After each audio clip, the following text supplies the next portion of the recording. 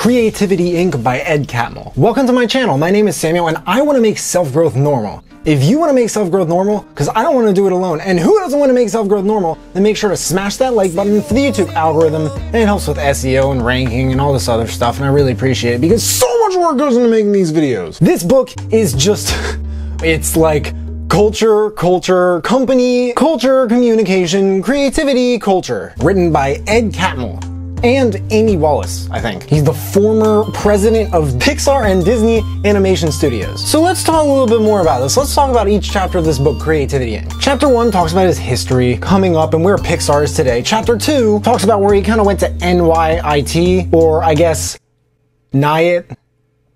Does anyone call it that over there? I don't know. And then how he got a job in Lucasfilm after Star Wars, which was gonna change film forever, ever. And by forever, ever, I mean forever, ever, ever. Chapter 3 talks about how it was actually really difficult for Catmull to learn how to manage people and how he started to improve it, and where Steve Jobs came into the mix. After Toy Story was released, The Terminator and Jurassic Park were released, and everyone afterwards was like, Okay, actually, guys, this is a very good thing, this computer animation stuff. I think it belongs in Hollywood, okay? Chapter 4 is about smashing the like button if you haven't already, and then establishing the identity of Pixar. Chapter 5, in this chapter, he does talk about how getting the right people and chemistry is more important than getting the right idea. The author has been to so many places, he's talked at, in so many conferences and stuff, and he has had asked that, asked like, which one matters more to the people in the crowd, and half of them raise their hands for each one every time in terms of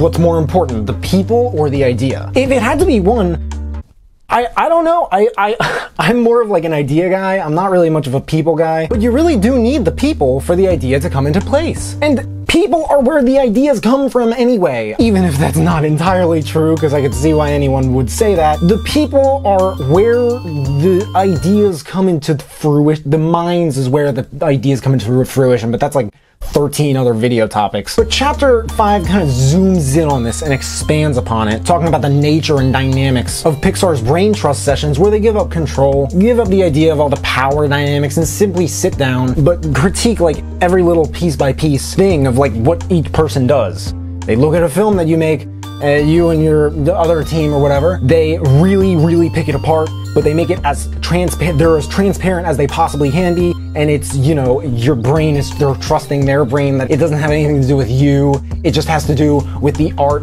and Pixar. It's the ultimate Pixar goal. It's not your goal or my goal. There's no competition or anything like this. It has no selfish agenda, basically. It just wants to help. Chapter 6 zooms in on the brain trust, like the reasoning behind uh, how brain trust sessions kind of work, and a little bit of the behavioral sources of creative insecurity. Chapter 7 focuses on, I don't know if I quite grasped this. The beast and the baby? But apparently it's it's just and i agree with this anyway it's just essential to kind of find conflict and use it as leverage to grow. So many books i talked about in late july were obsessed with this. Chapter 8 is about the relationship between creativity and randomness. Plenty of specific example examples are also talked about, by the way, throughout the whole book, recalled from the production of movies like Toy Story and Monsters Inc. and The Incredibles and Bug's Life. Some of these concepts are talked about to excruciating depths in uh, Nassim Taleb's Black Swan, not the productions of those movies, but the creativity and randomness. He said that the silver lining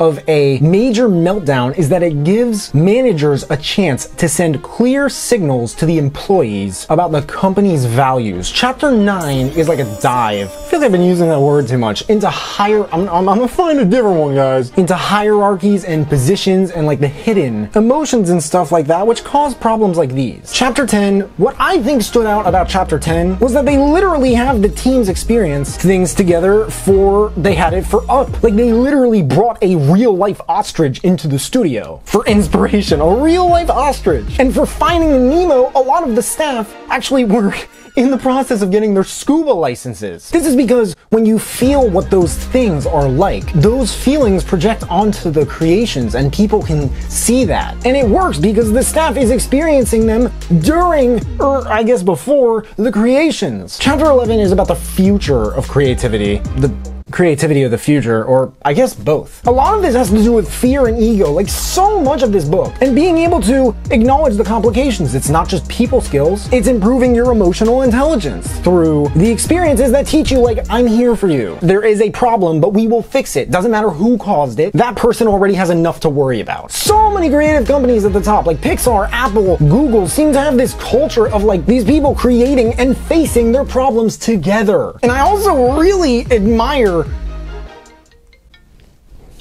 my mom. I really admire how many different aspects of growth and business and life that this book addresses. All at the same time. Chapter 12 talks about more history with Pixar and Steve Jobs with uh, Disney Animation Studios. Chapter 13, it's about this thing called Notes Day. And I'll just say this Notes Day is one of the most spectacular corporate culture improvement ideas. It's actually kind of a tearjerker how much it impacted Pixar in just one day. Chapter 14 is.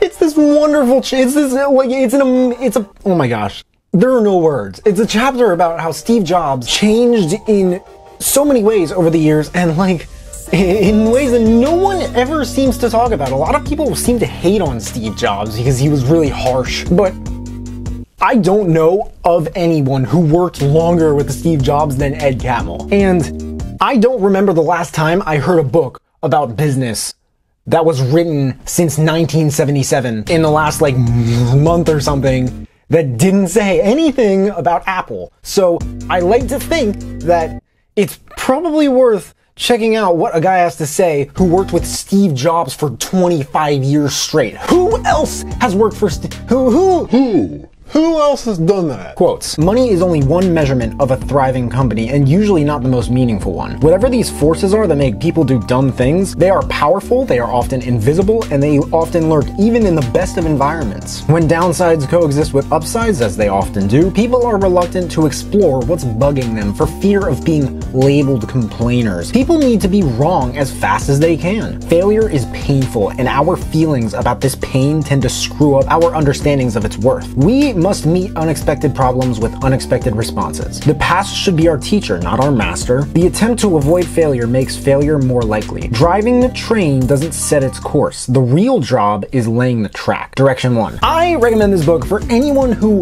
loves Pixar movies so much that they're wondering what kind of work goes into making them. But I recommend this book probably more for anyone in management, particular like especially in in some sort of like a creative based company, media, something like that, who's looking to kind of sharpen their management skills. There's a lot of psychology and all this other stuff that has like.